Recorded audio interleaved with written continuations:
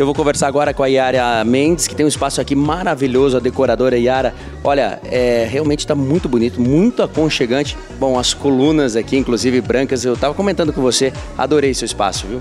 É, então, esse é um espaço que a Artefato disponibiliza para nós usarmos os produtos deles.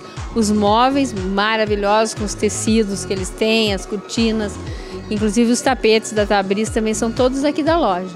Então fica fácil, com coisas bonitas, um ambiente amplo, nós fazermos um espaço legal.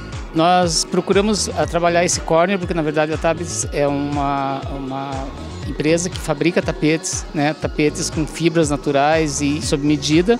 E a gente procurou trabalhar esse espaço que deixasse aconchegante e com vontade de a pessoa ficar. A Mostra Artefato nos traz é, uma, uma visibilidade de mercado bastante interessante. É, é, essa é a oitava participação nossa né, na, na Mostra Artefato.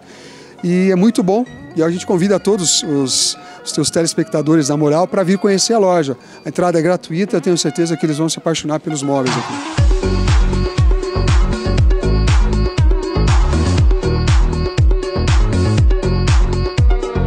Bom, eu vou conversar agora com a arquiteta Elaine Zanon e também com a designer Cláudia Machado, que estão aqui presentes na mostra é, da Artefato.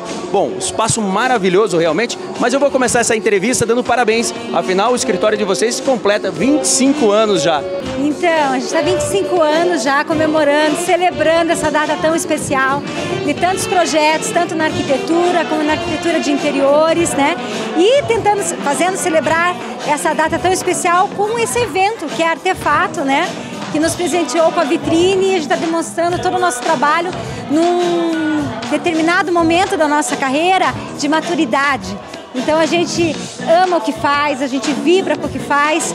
Então aqui é um presente para todos os curitibanos esse espaço aqui da mostra. Bom, Elaine, gostaria que você contasse um pouquinho agora como foi compor o espaço. A gente está fazendo o lançamento da linha Beach Country da Artefato. Então a gente também está trabalhando com essa valorização do artesão e principalmente com a cor que a gente colocou, que é o páprica, que é uma cor interessante e deixa assim o ambiente quente, né? Que é tão necessário no outono. Né? Eu fui convidada para executar aqui um jardim.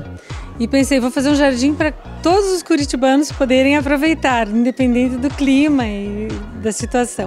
Então é um jeito da gente ter o conforto, poder estar junto à natureza e ao mesmo tempo é, estar protegido, né? Que a gente tem os nossos problemas climáticos. Nós sempre trabalhamos muito, eu acho que cada ano que passa a gente aprimora o trabalho, né? A experiência é fundamental, essa aqui para mim já é a décima. Então, fazendo todos os anos, agrega a experiência e a experiência do trabalho fora daqui é com o cliente. Eu trago muito a coisa do cliente para cá também. Então a gente espera que cada ano seja melhor. E ela está bonita, está melhor e vale a pena visitar a amostra.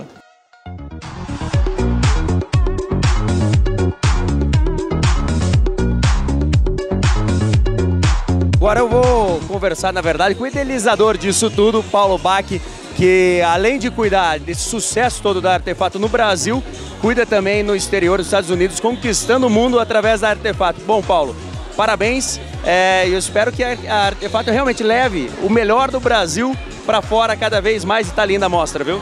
Muito obrigado, bem-vindo, Leandro. Olha, o trabalho da Artefato é se manter líder em toda a cidade que ela atua. E a fórmula a gente tem, a gente tem, a gente tem um trabalho top of mind de mercado, é uma marca muito reconhecida, mas essa pegada nova está muito interessante, que eu estou trazendo toda essa coisa da, da, da, sensualidade, da pegada Brasil.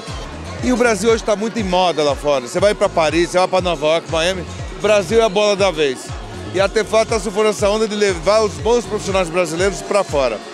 E como não poderia deixar de ser, Paraná e Curitiba tem profissionais maravilhosos. Os profissionais que estão hoje na Mostra Artefato aqui poderiam estar em Paris, Nova York, Milão. Estão muito globalizados e muito antenados.